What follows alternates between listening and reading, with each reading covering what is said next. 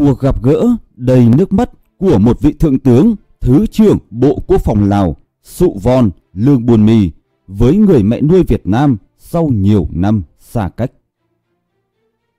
Với nhiều cán bộ, sĩ quan nước bạn Lào, lâu nay hai tiếng Việt Nam luôn ngân lên ra diết Bởi đó là đất nước họ từng học tập và bởi đó là nơi họ có những người bạn và các thầy cô luôn dành cho họ những tình cảm chiều mến, thân thương. Nhưng với Thượng tướng Sụ Von Lương Bùn Mì, những tình cảm và ấn tượng về Việt Nam còn nhiều hơn thế. Bởi ở đất nước này, ông còn có một người mẹ, một làng quê, một nếp nhà thân thuộc. Cuối tháng 3, thôn Phúc Đình, xã Phúc Hòa, huyện Tân Yên, tỉnh Bắc Giang, nhuộm vàng, nắng xuân. Có một ngôi nhà nhỏ nằm giữa mênh mông đồi vải đang độ đơm bông trắng ngà. Đó là ngôi nhà của bà Ngô Thị Hùng, vợ liệt sĩ chống Mỹ. Dưới nếp nhà ấy vẫn đang âm ấp kỷ niệm về hình ảnh của những cậu bé nước bạn Lào mà một trong số đó đang trên hành trình tìm về với người mẹ thứ hai, gia đình thứ hai, quê hương thứ hai của mình. Cậu bé Lào ngày ấy nay đã là một vị tướng, thượng tướng Sụ Vòn Lương Bùn Mì, Tổng tham mưu trưởng, Thứ trưởng Bộ Quốc phòng Lào. Mấy anh em ông Bùi Quang Tiến, con trai bà Ngô Thị Hùng đứng ngồi không yên, chốc chốc lại dõi ánh mắt về phía con dốc dẫn lên nhà mình. Cách đây 4-6 năm, Tiến và Sụ Von Lương Buôn Mi như hình với bóng. Cũng dễ hiểu bởi hai người chạc tuổi nhau. Tiếng động cơ ô tô ầm ĩ ngày càng rõ dần và rồi hình ảnh mà gia đình bà Hùng và cả cái xóm nhỏ này chờ mong cũng hiển hiện trong mắt mọi người. Trong bộ quân phục của quân đội nhân dân cách mạng Lào, Thượng tướng Sụ Von Lương Buôn Mi đi nhanh về phía ngôi nhà thân thuộc, rồi ôm chầm lấy ông Tiến và hai người em trai kế sau. Những mái đầu đã điểm bạc nhiều sợi rung rung xúc động và những đôi mắt như đang ẩn ực nước. Phía trên bậc nhà, bà Hùng dụi mắt như để nhìn rõ hơn, rồi giọng bà nghẹn lại. Đúng là thằng Von kia rồi. Đi như chạy về phía hiên nhà, thượng tướng Sụ Von lương buồn mì ôm trầm lấy mẹ. Những giọt nước mắt cứ thế lăn dài trên khuôn mặt hằn vết thời gian của bà mẹ Việt Nam. Kìm nén xúc động, một lúc sau, Thượng tướng Sụ Von lương buôn mi mới cất lên lời. Mẹ ơi, mẹ vẫn khỏe chứ? Người trong gia đình và bà con tròm xóm ai nấy đều rừng rừng. Trong nhà, những bức ảnh vợ chồng Thượng tướng Sụ Von Lương Buôn Mi và con gái chụp chung với gia đình trong lần về thăm năm 2015 được treo trang trọng, như để bà Hùng khỏa lấp nỗi nhớ con trong những ngày xa cách. Vừa ngồi xuống ghế, Tổng tham mưu trưởng quân đội nhân dân Lào kéo một người thanh niên lại gần nhỏ nhẹ. Mẹ ơi, con gái con đã lấy chồng, đây là cháu rể của mẹ. Nắm chặt tay người thanh niên, giọng bà Hùng nghẹn lại. Thế là bà lại có thêm một đứa cháu nữa rồi. Ngoài bậc thềm, nắng đã chan hòa, bóng những cành cây nhảy nhót trên khoảng sân sạch sẽ, kỷ niệm hơn 40 năm trước cứ thế ùa về, rõ nét.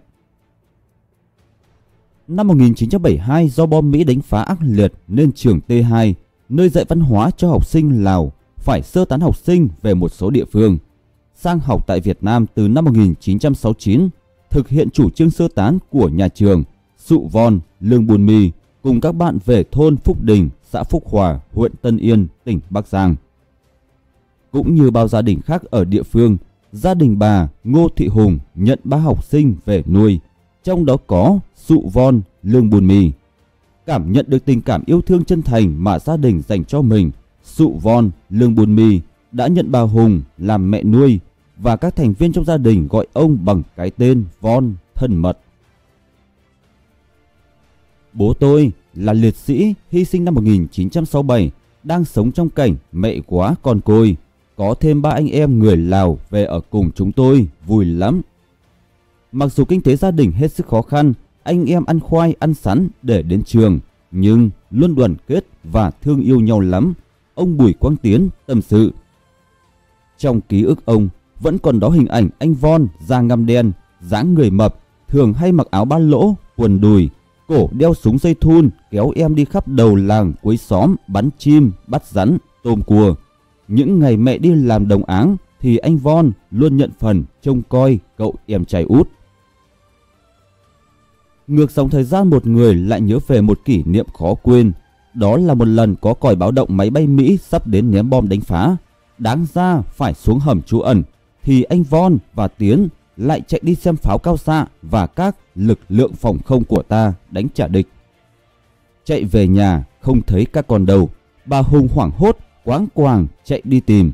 Gặp các con, bà vội kéo đến chỗ trú ẩn an toàn. Trong không khí xúc động của ngày hội ngộ, Thượng tướng Sụ Von Lương Bùn Mi chia sẻ với mọi người rằng với ông trở lại Phúc Đình chính là hành trình trở về quê hương, về với mẹ, với gia đình. Xưa ở nơi đây, ngoài được các thầy cô giáo dục truyền thụ kiến thức, ông còn được người mẹ thứ hai của mình chăm lo, dạy dỗ. Có ngày máy bay địch đánh bom, có ngày thiếu cái ăn, nhưng trong khó khăn muôn bể ấy, mẹ vẫn lo cho mấy anh em từng củ sắn, củ khoai. Nắm bàn tay nhăn nheo của người mẹ năm nay đã bước sang tuổi 80. Người con tên Von của mẹ Hùng bộc bạch với mọi người. Ngày ấy, mẹ đã dặn tôi rằng con được đất nước Lào gửi sang Việt Nam học tập để mai này về làm cán bộ. Thế nên, con phải cố gắng học tập thật tốt để trở về góp phần xây dựng quê hương, đất nước. Lời dạy của mẹ chính là động lực, là chân lý sống, là điều tôi luôn khắc ghi trong lòng để không ngừng cố gắng phấn đấu, vươn lên trong suốt 40 năm qua. Và lời dạy ấy cũng sẽ đi theo tôi đi suốt cuộc đời mình. Mấy chục năm qua, tôi vẫn luôn nhớ về gia đình mình, nhớ tiếng nói đầy yêu thương của mẹ. Vợ tôi thì thường xuyên hỏi bao giờ mình lại về Việt Nam thăm mẹ. Những điều đó đã thôi thúc chúng tôi trở về bên mẹ. Gặp lại các con, khóc nhiều hơn nói vì niềm hạnh phúc đến quá bất ngờ, bà Hùng xúc động. Ngày ở với mẹ, con còn nhỏ, nay con đã khôn lớn, trưởng thành, giữ trọng trách trong quân đội, mẹ mừng không kể xiết. Mẹ mong con ngày càng tiến bộ hơn.